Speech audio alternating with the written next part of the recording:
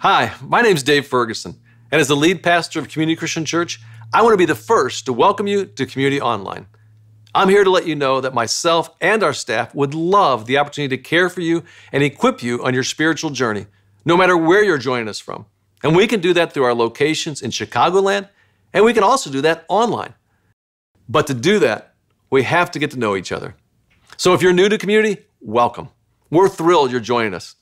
The best way for you to let us know you're here is by checking in. Take a moment and use your camera app to scan the QR code on the screen or click the link in the chat, and a member of our team will connect with you this week. Let's get to know each other. Check in so we can learn your name and reach out to you in the next couple of days. One of the ways we care for you is by praying for you. Don't go through stuff on your own. Reach out for prayer at any time by texting PRAY to 331 226 1686 or by clicking the prayer button. Our prayer team is standing by and would love to pray for you.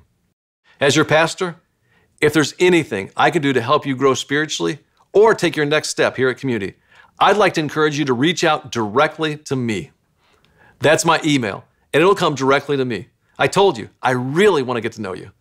Here at Community, we are passionate about helping you find your way back to God, and today's experience is designed to do just that. So let's do that right now together.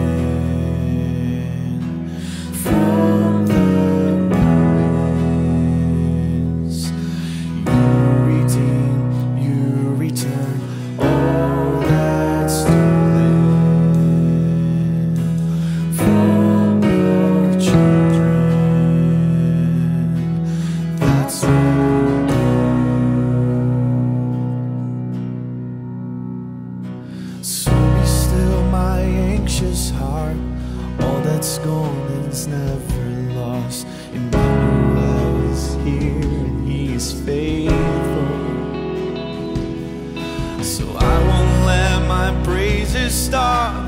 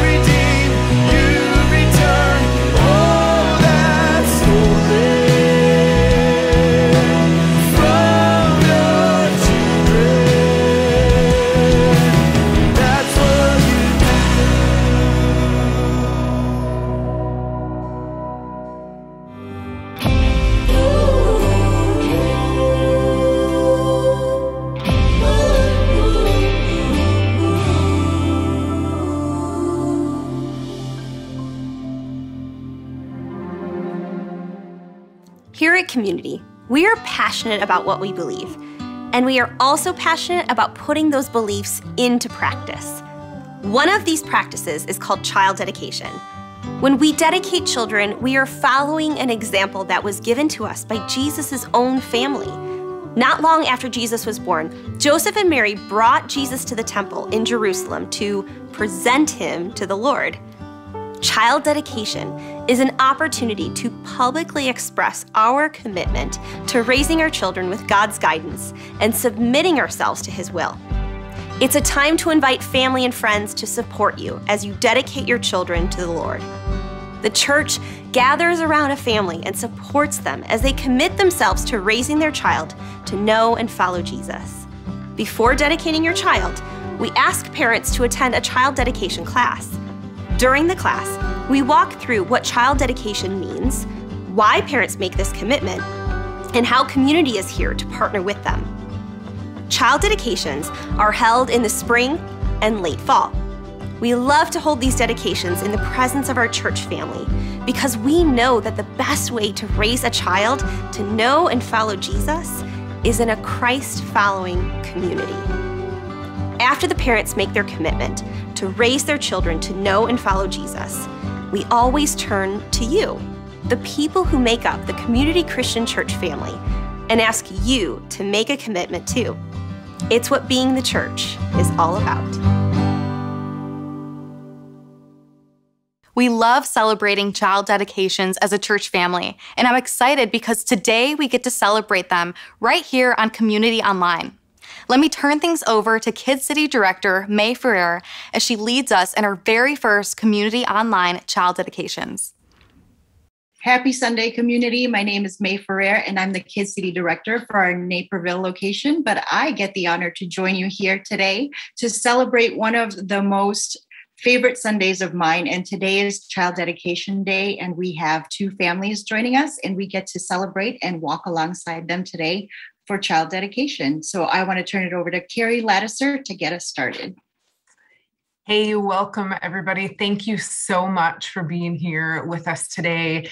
Uh, my name is Carrie, and I serve as the community pastor at our Naperville location, and I get to teach and host at Community Online from time to time. It is great to be here with you. Just as May said, this is one of our favorite days. We're honored to host you and your family for this significant moment together. Uh, our child dedication celebrations are a moment in time when the church as a whole gathers around a family and supports them as they commit themselves to raising their children to follow Jesus. And in the past few seasons, uh, we have learned new ways to come together as one church uh, in multiple expressions. So, no matter where you live, no matter where your family lives, we have learned that we can still be together. Uh, one church, one body, one family. And as you see uh, today, we get together together to be a part of dedicating uh, your children to the Lord. So thank you, friends, for joining us. It's so good to be here with you and see these beautiful babies uh, and get to celebrate you and your families together we know that when we celebrate and dedicate children, uh, we're following the example that was given to us by Jesus' own family. In Luke 2, not very long after Jesus was born, Joseph and Mary brought Jesus to the temple in Jerusalem to be dedicated. And the passage actually says uh, they were there to present him to the Lord. And today you follow in this example as you present and dedicate your children to the Lord. We know this is a significant day for all of us here, for the babies and the children being dedicated. They're fortunate and blessed to have a family committed to working together to provide a supportive and helpful environment for these babies to grow in. Uh, for the families and friends gathered here today, we're going to ask you to pledge to encourage these families during tough times, to celebrate the good times, to hold them accountable to the commitment that these parents are making here today. And for the parents, congratulations. You're making a huge, wonderful decision today to step forward and publicly dedicate yourselves and your children to following Jesus together. So there's no greater gift that we believe that you could offer your children. And so we just honor you together as you take this step. Uh, at this point, I want to give you a chance to introduce yourself and your families, and then I'm going to ask uh, a question of dedication to each one of you. So let's get started uh, with Garrett and Nicole. Introduce yourself to us and tell us who this is you have with you who's being dedicated. Hi, um, I am Nicole Lems. This is my husband, Garrett Lems, and we have Kennedy Ray Lems here with us today. Hi, Kennedy. He's very talkative just a second ago. So. oh, great. Oh, I think she's waving to us too. That's awesome. Um, we've been attending community for about two and a half years. Um, we recently got married and had her, and so we're very excited to be dedicating her today. Awesome. We're so excited to be here with you guys. Uh, okay, Garrett and Nicole, I'm going to ask you a question, and I'm sure that you're going to answer with a loud and convincing yes. Uh, and I'll give you the opportunity to answer. But do you commit yourselves to raising Kennedy in a Christian home, uh, providing her opportunities for Christian growth and nurture, and dedicating yourselves as an example of committed Christians for her? Yes, we do. Awesome. Awesome. So good. So good, Kennedy. Uh, okay. And then we also have Nate and Lizzie. Would you two introduce yourselves and uh, introduce your boys as well? We would love to. So this is Zeke and this is Silas. So two and six months. And I am Lizzie and this is my husband, Nate. And we've been at community for almost, yeah, 18 months, 19 months no longer than that. I can't do math. And I can tell Zeke is so excited about that, right? Yeah. and Lizzie is on staff at our Lincoln Park location, a physical expression. So I'm sure they get to spend a lot of time at church with you. Uh, same thing here, Nate and Lizzie. I'm going to ask you a question. I'm sure you're going to answer with a loud and resounding yes. But do you commit yourselves to raising both Zeke and Silas in a Christian home, uh, providing them with opportunities for Christian growth and nurture, and dedicating yourselves as an example of committed Christians for them? Yes. Awesome. Awesome. This is so good. We love to hold these dedications also in the presence of our church family because we know the best way to raise a child in a Christ following family is with a Christ following community. It's not perfect, uh, but it's one more way that we can be the church to each other and come around you, support you, and pray for you as you make this decision today. So, my last question is for everyone who's here with us online, or if you're watching this on demand, do you promise? to help these families raise their children to know and follow Jesus? Do you promise to love them and challenge them to keep the commitments that they made today? And if so, you can answer out loud, we do. I'm going to answer on behalf of our online church family and say, we do. Of course, we do. Yes, of course we do. It's so good, May. Uh, I want to wrap up this part of the dedication by saying a prayer on behalf of our church community and as one more indication of our collective commitment to each other, would you extend your hands right where you are, just towards your camera, uh, towards your TV as you're watching, in, in an expression of your commitment to support and to encourage each other? And then, uh, would you pray with me? Uh, God, please, we invite you to bless the commitments that were made today, to bless these parents with wisdom, God, when they don't know what to do, to bless them with patience, Lord, when they are at their wits' end, to bless them with abundance of your unconditional love. Help them to be good stewards of these children, knowing ultimately that they are a beautiful gift created in your image coming directly from you. And finally, Lord, help them to truly enjoy every phase of their children's lives. As we know, the days are often very long, but the years pass all too quickly. God, we love you and we thank you for the gift of these children as a part of our faith family. And it's in Jesus' name that we pray. Amen. I'm going to turn it back over to you, May. So, thank you all for joining us today. Um, we are so, so, so honored to be here to be able to celebrate these two families with us, as well as our families um, in our in person services today. Um, I just want to say how grateful Kid City is uh, to be able to partner with you and support you, parents. And don't forget that we are there for you and we want to be there for you every step of the way. So, don't forget to lean on us. We're happy to be there to partner with you. Um, we believe that parents are the first, the first line um, of teachers, and you guys are, you know, partnered together. God knew the kids that they gave you would need you, and God also knew that you, as parents, are needed for these kids. So we're grateful for you, and we're honored to be here to celebrate you today. I loved that. Thanks for being a part of it. And also, thank you for joining us today for Community Online. My name is Natalia Heckerman, and I would love to know your name. That's why I want to invite you to check in with me either in the Community app or by using your camera to hover over the QR code on the screen. This simple step is so important because the Christ following life is meant to be lived together. By checking in, you are letting us know that you are here and that you are part of this community which gives us the opportunity to connect with you. When you check in, you'll also have access to our digital program, the Community Weekly. And also, everyone who checks in today will be in a drawing for some awesome community merch. Now, if you're watching on your phone, don't worry. You can check in at any time later and still have an opportunity to win the merch. But I want to encourage everyone who is watching to take this simple step of checking in because we want to know you and be on this mission of helping people find their way back to God together.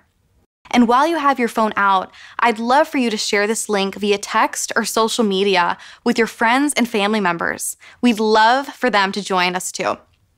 At this point in our service, let's also take a moment to give back to God.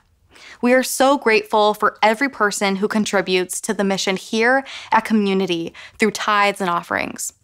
Whether you are celebrating with us online, in person, through community freedom, or in a 3C community, it's your generosity that makes these four expressions of our church possible. So I encourage you to give right now.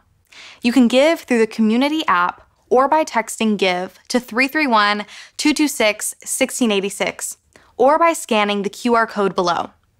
You can also send a check to our mailing address in Naperville. And as you give, let's get ready to hear from community pastor Jon Ferguson as he shares the next message in our series, What Do Christians Really Believe?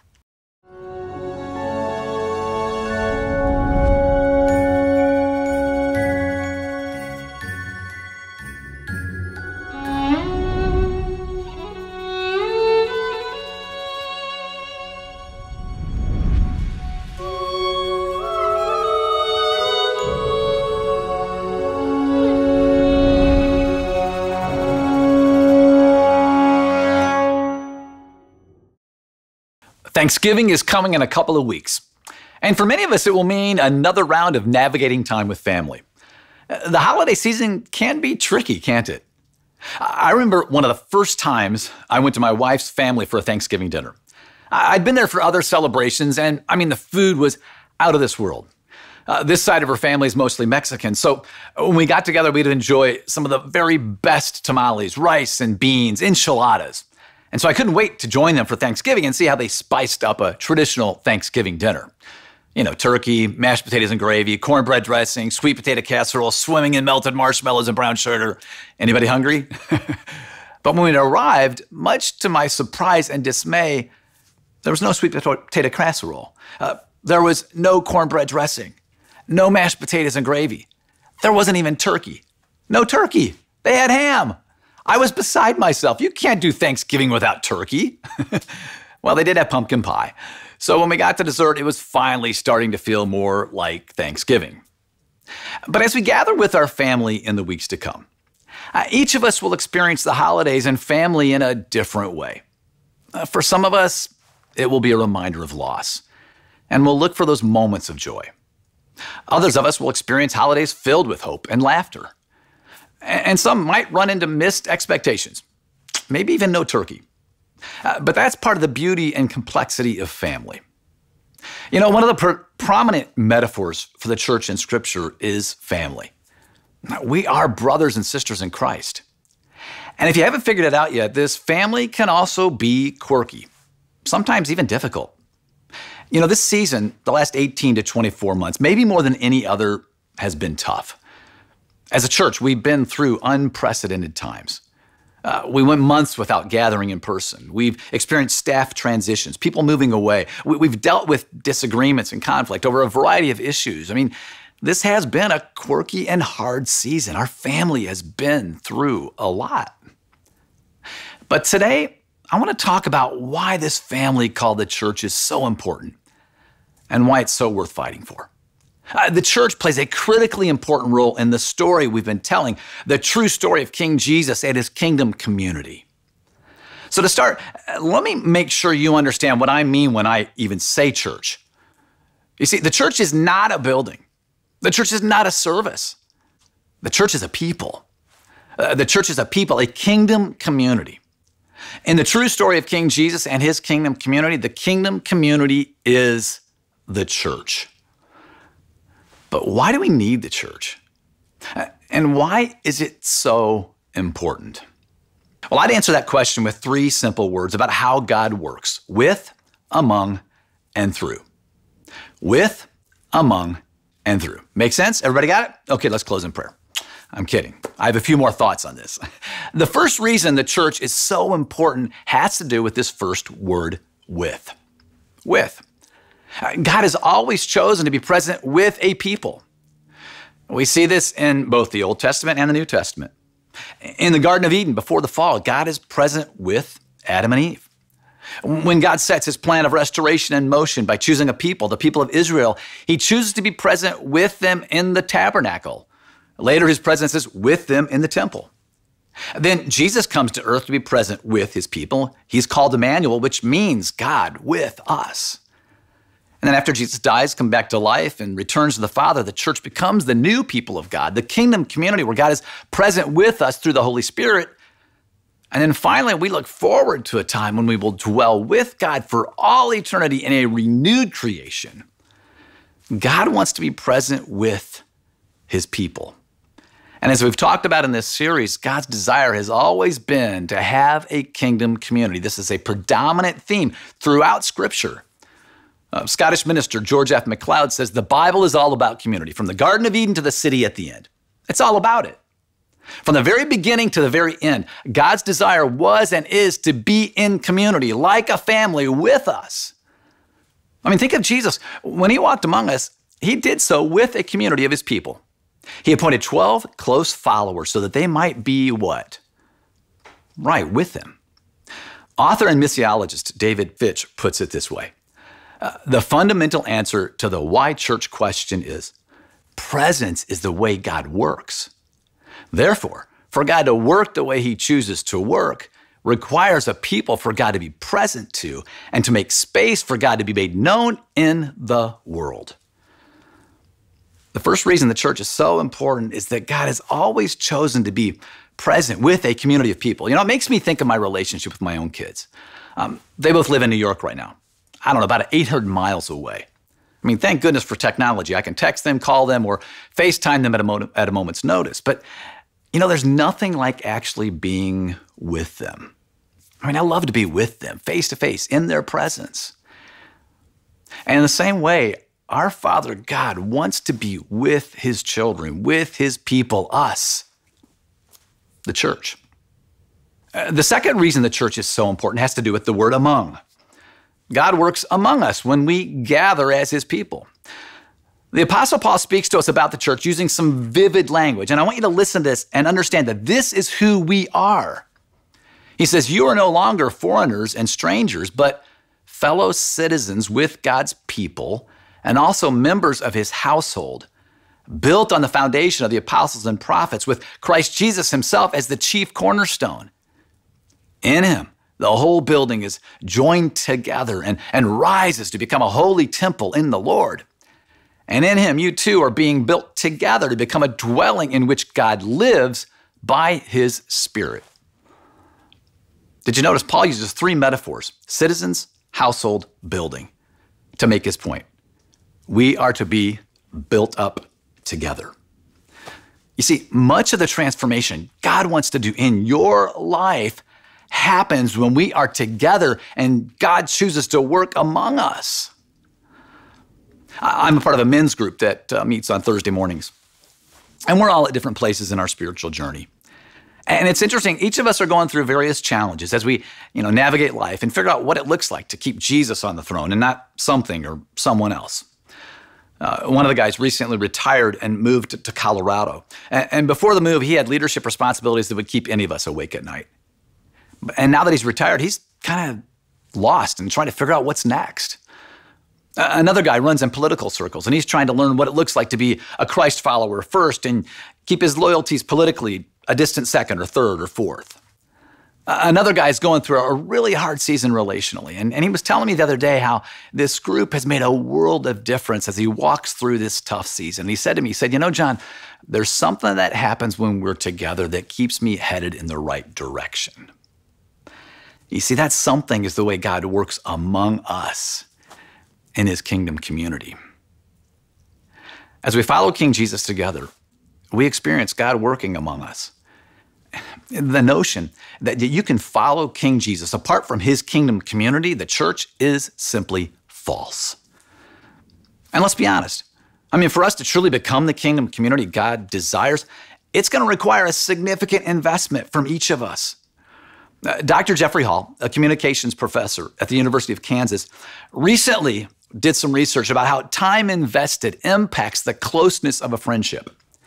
In general, Hall found that it took 40 to 60 hours to form a casual friendship, but between 160 to 200 hours to really become good friends. Yeah, time spent together was a key predictor of friendship closeness. But the type of activity also made a difference. Time spent at work or in class together actually predicted lower closeness, but time spent hanging out without an agenda predicted higher closeness. And the kind of talk while together was also important. Small talk about things like pets, sports, or movies predicted lower closeness over time. But what Hall called striving talk about what was actually happening in people's lives led to greater closeness. I'd say this study tells us what we already know deep down that if we don't give these relationships time and if we don't go deep, we will miss out on the redemptive work God wants to do among us. Jesus said, For where two or three gather in my name, there am I with them. See, there's something fundamentally different about how Jesus is present or among us when we're together as opposed to when we're alone. And that's why throughout this series, we've stressed that following Jesus involves more than just a personal decision. It also involves a commitment to God's kingdom community. And part of that commitment is coming together for worship, teaching, and communion, like Christians have for centuries. It's a regular time where we can expect Jesus to be present among us. And I don't know about you, but I need that every week, at least every week. A third reason why the church is so important is this God works through us when we live as his kingdom community. God works through us when we live as his kingdom community. Now, take a look at what it looked like when the church first formed. And as I read this, take note of how you see God at work through his people. Maybe even write it down. If you have access to the chat, put it in the chat room or put it on a post it note somewhere. What most impresses you here? What makes you say, I want more of that? Uh, this is from Acts 2. Luke, the historian, writes this Those who accepted his message, this is Peter's message he just taught, were baptized. And about 3,000 were added to their number that day. 3,000. They devoted themselves to the apostles' teaching and to fellowship, to the breaking of bread, and to prayer. Everyone was filled with awe at the many wonders and signs performed by the apostles. All the believers were together and had everything in common. They sold property and possessions to give to anyone who had need. Every day they continued to meet in the temple courts. We think every week is a lot. They met every day. They broke bread in their homes and ate together with glad and sincere hearts, praising God and enjoying the favor of all the people. And the Lord added to their number daily those who were being saved. What an amazing community. I mean, God was at work through them in so many incredible ways. Huge numbers of people were finding their way back to God, getting baptized, 3,000 in one day. Uh, they met together every day publicly in the temple courts and in their homes where they devoted themselves to learning, growing, and praying together. Uh, this kingdom community was in awe of the wonders and miracles that were happening among them. They shared everything they had with each other. Some even sold stuff to make sure that there were no needy people among them. They ate together and praised God for what He was doing among them, and God's work through them was so attractive, so appealing that they enjoyed the favor of all the people. And every day, people were choosing to follow Jesus and become a part of this irresistible community. I mean, this was a church community even outsiders couldn't help but like. Last month, our, our Lincoln Park location hosted a free fall fest in a local park for families of our community. And, and there was a bouncy house, face painting, games, crafts, and, and of course, food and drink for everyone. Dozens of families who prior to that day knew nothing about community gathered at the park to enjoy a fun filled Saturday morning. And the volunteers from Community Christian Church could not have been more kind, warm, friendly. And it may be a meager comparison to what we read about from this first kingdom of community, but you know what? It was clear that God was at work through us on that morning. And I, and I wonder, maybe it was just a glimpse of what it looks like to enjoy the favor of all the people. I mean, that morning people noticed, asked questions, and wanted to know who was this church that was bringing so much joy to their neighborhood. You see, I, I love how Luke describes this community in verse 46. He writes that they were doing what they were doing with glad and sincere hearts. Glad and sincere hearts. There, there was a joy and authenticity about what they were doing together that was contagious. Uh, you know, as I was working on this talk, I, I read where one Scottish pastor uh, used to say that it would help the church more than anything else if Christians would do a Bonnie thing. I wish I had a Scottish accent, but I won't try that. And so I wondered, you know, what is a Bonnie thing? Anyone know? If you know what a Bonnie thing is, put it in the chat if you have access to it. But, you know, my good friend Google helped me discover that in Scotland, if you want to refer to something winsome and beautiful, you might say it is a Bonnie thing. You see, in the early church, there was a winsomeness in God's people. They were doing a Bonnie thing.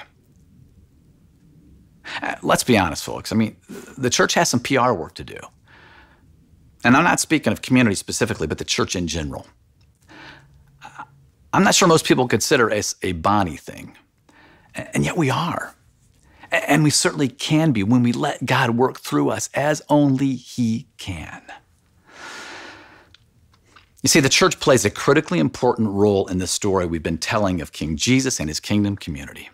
It's why we want you to find your home here at Community. And, and we believe there are three connections that help us live out this idea of Jesus being with us, among us, and working through us.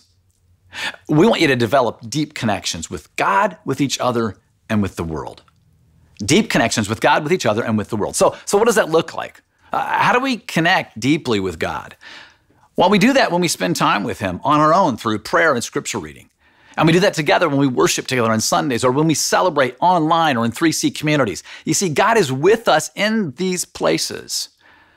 We connect with the church, each other, when we gather in small groups or serve on ministry teams. I mean, small groups really are where the real stuff of community happens. It's where we commit the 160 to 200 hours to grow deep relationships. It's where we pray for each other, encourage one another, and hold each other accountable to grow in our faith.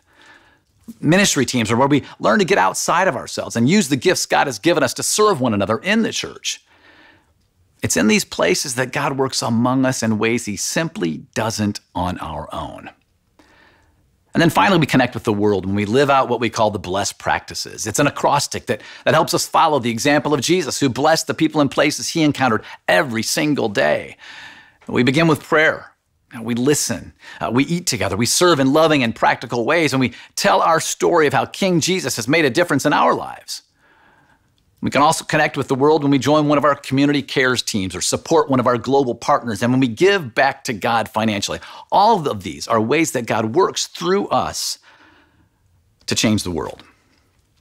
And community is all about deepening these three connections with God, with the church, and with the world. This is who we believe God wants us to be and what we believe God wants us to do. So while we recognize that everyone is on a journey, we will always challenge you to find your way back to God and take next steps to deepen these three connections. I want to wrap up with a story about two guys, uh, Gary and Randy. Uh, they worked together every day at a furniture delivery company. Um, Gary would lift one end of the couch and Randy the other. Uh, people said they looked alike, but they chalked it up to coincidence. Uh, Randy had been researching his family history and found out he was adopted. He learned that both of his parents had died, but that they had another son born June 10, 1974. So then, on another furniture delivery run, when a customer once again commented on how much Randy looked like Gary, Randy started nonchalantly asking Gary some personal questions like, When is your birthday? As soon as he said his birthday, I knew, Randy said, Gary is my brother. They'd grown up in neighboring towns and attended rival schools, only a year apart in age, and never knew about each other. It was a shock to both of them. Phenomenal, said Gary. I still can't wrap my head around it. A coworker, Greg Barry, said, There's nothing like family, especially when you don't have one. Now they've got it. Uh, but that's not all. Uh, after their story appeared in a local paper, a teary eyed woman showed up at the brothers' workplace clutching a birth certificate. Uh, she was their half sister, born five or six years before the two men to the same mother. After all these years, she said in an interview, I finally found my brothers. And you know, our prayer is that you will have a similar experience here at Community. Uh, that as we give ourselves to this church and take our place in God's kingdom community, we too will discover that people we thought were strangers are actually our brothers and sisters. Remember, God's presence is with us, and He wants to work among us so that He can make a difference through us. Welcome to church. Welcome to the family. Every family has traditions, practices that define who they are and often bond them together. Our family, the family of God, this kingdom community has traditions too. And one of the most meaningful is the moment when we come together to celebrate communion. Communion is a time when we symbolically gather around the table to remember what unites us the body and the blood of Jesus. He is our rock, our anchor, the cornerstone on which our family is built. So let's prepare our hearts to remember his sacrifice by singing his praises. Jesus is King, he is Lord, Lord of all.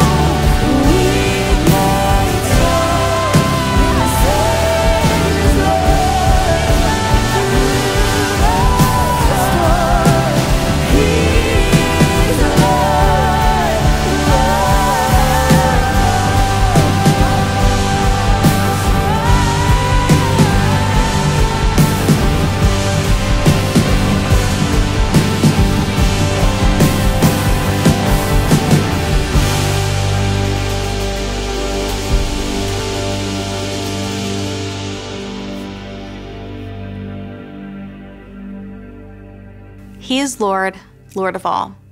And in this moment, we remember his sacrifice, his body, which was broken for you and for me.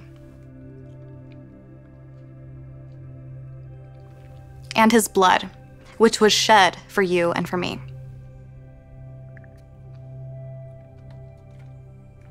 He is Lord, Lord of all. Would you pray with me? Dear Lord, thank you so much for inviting us into what you call the church for allowing us to be members of your family and participators in helping people find their way back to God. I ask that as we go about our weeks that you will help us remember who you want us to reach out so that they can be family and part of the church that you designed. We love you. Amen. Before you go, let me remind you of the big idea Jon shared with us today. We believe the church is God's kingdom community joined together in allegiance to King Jesus and called to live out shared practices that help more and more people find their way back to God. You are a part of this family called the church, and we'd love to help you take the next steps to grow in the three connections of community. I encourage you to visit communitychristian.info to learn about ways you can get involved. And let me also encourage you to be praying about who you could invite to become part of this family there is someone you know who would love to be invited to join us next week for Community Online. This week, ask God to put specific people on your heart and mind, and then reach out to them and share this link to invite them. Together, let's help more people find their way back to God. I'm so glad you joined us today, and I pray that God met you in a meaningful and powerful way. If you're new, remember to check in so we can connect with you. You've already taken your first step and we want to help you figure out what's next. Everything you need to take your next steps here at Community can be found at communitychristian.info. We would love to help you connect through a small group or by joining a team. We have in person and online options for both. Or if you found your way back to God, we'd love to help you take your next step and get baptized. Don't hesitate. Take that next step today, and we'll see you right back here next week for Community Online.